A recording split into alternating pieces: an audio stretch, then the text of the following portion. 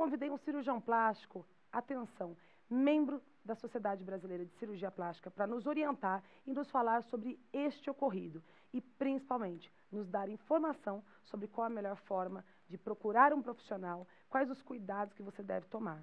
Eu converso com o Dr. Rafael Sakai, aqui de São Paulo. Ele é médico cirurgião plástico e membro da Sociedade Brasileira de Cirurgia Plástica. Tudo bem, doutor? Olá, Duda, tudo bem? Tudo Prazer. ótimo. Bom, hoje a gente vai falar de um tema, doutor, a gente vai falar muito sobre cirurgia plástica, mas principalmente, até pelo fato do Saúde Você ser um programa que dá informação de prevenção, de bem-estar e qualidade de vida, e a gente fala tanto sobre procedimentos estéticos, sobre vaidade. Doutor, aconteceu esse fato, a semana passada, sobre essa moça que veio a perder a vida por causa de um procedimento estético. O senhor acompanhou isso nas mídias? Sim, infelizmente é um caso trágico, né? É, quando tudo começa errado, as pode dar é, problema para o paciente, né? Ou seja, né, começa errado, o final pode ter uma consequência pode ser trágico, trágica. Exato, né?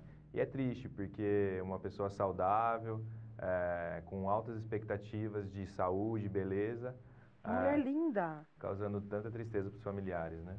Doutor, agora assim, o que que eu li?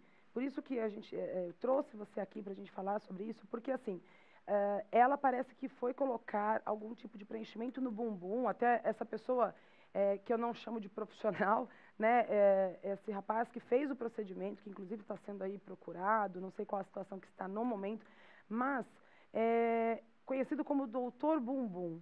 É, o nome já é aquele encanto, né? Então você olha nas redes sociais, você vê que ele tinha muitos seguidores, muita gente procurando informações. Que procedimento é esse PMAA? Que foi uh, o, o, não é o procedimento, é o produto utilizado para o preenchimento no bumbum. É, esse, esse produto chamado PMMA, ele é chamado polimetilmetacrilato, né? Ah. Ele é um produto sintético que hoje em dia não é recomendado mais para preenchimento, tá? E principalmente em grandes volumes como realizado, né?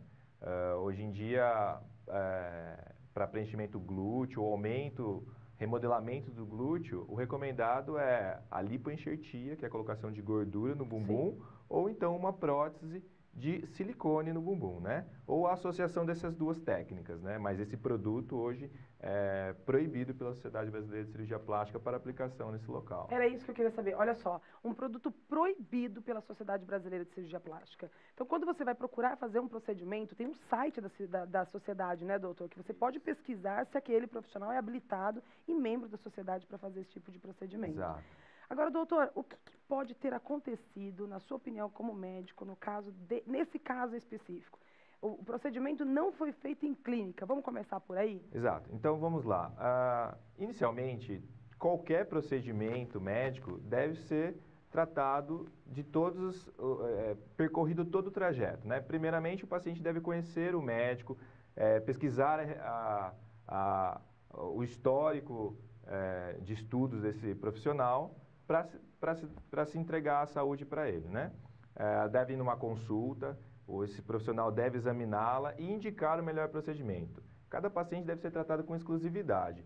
Né? Um mesmo procedimento não é aplicado igualmente para todos, né? Vale ressaltar, aproveitando essa informação que o senhor está me dando, que hoje a gente vê consultas, exames é, e até orientações médicas sendo feitas por WhatsApp, gente. Isso, Isso. acontece, o senhor ah. sabe disso. Isso, isso é um erro total e é um, um, uma mania que a sociedade vem adquirindo até pela facilidade, né? Mas temos que voltar ao tempo, aos tempos anteriores, né? A, o tempo que o paciente ia no, no médico, é, conhecido da família, ele fazia uma anamnese, sabia o histórico, as cirurgias, as alergias que o paciente tinha, né?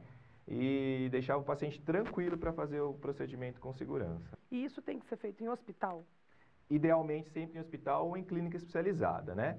É, acompanhamento de anestesista, sem dúvida, equipe né? completa. Checagem dos exames, monitorização dos pacientes, é, a, a, a, anestesia, né? a retirada da dor do paciente, a posição da maca, a iluminação, tudo isso é importante para o procedimento adequado, né? Da mesma forma que tem a, ocorreu essa embolia pelo produto, existe a embolia pelo próprio coágulo de sangue que, que não é, é, que a morte ou o problema respiratório é mais a longo prazo. Mas, Mas é, pode acontecer da pessoa vir a óbito depois de uma embolia pulmonar?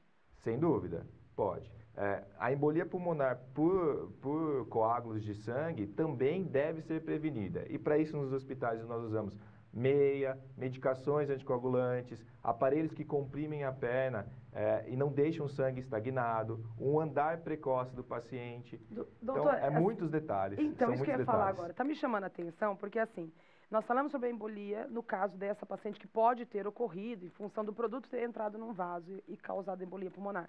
Mas o senhor está me falando uma informação que é o seguinte, Duda, é, inerente a este caso, existe a embolia pulmonar causada por coágulo, que pode acontecer pós o procedimento cirúrgico. E isso tem que ser evitado. Então, vocês têm uma série de técnicas e preparos que são feitos nos hospitais para evitar isso.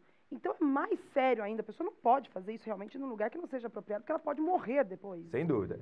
Tudo começa antes, né? Com os próprios exames e os antecedentes. Por exemplo, uma mulher que toma anticoncepcional e vai realizar um procedimento de longa duração, esse anticoncepcional deve ser interrompido um mês antes da cirurgia. São vários fatores que têm que ser analisados. E a partir do momento que você começa a fazer é, é, sem parar, visando só fins lucrativos, Aí. você sempre perde a finalidade da medicina, né? Que é saúde, beleza e autoestima, né? Tá certo. Bom, doutor, obrigada. Foi bastante esclarecedor. Como eu falei aqui, a gente quer conversar com o médico. A pessoa ideal para conversar é o médico. Por isso que assim, eu li muita coisa. Falei, mas agora é hora de falar no saúde de você, porque eu entendo, quem está em casa entende. O programa é feito para você.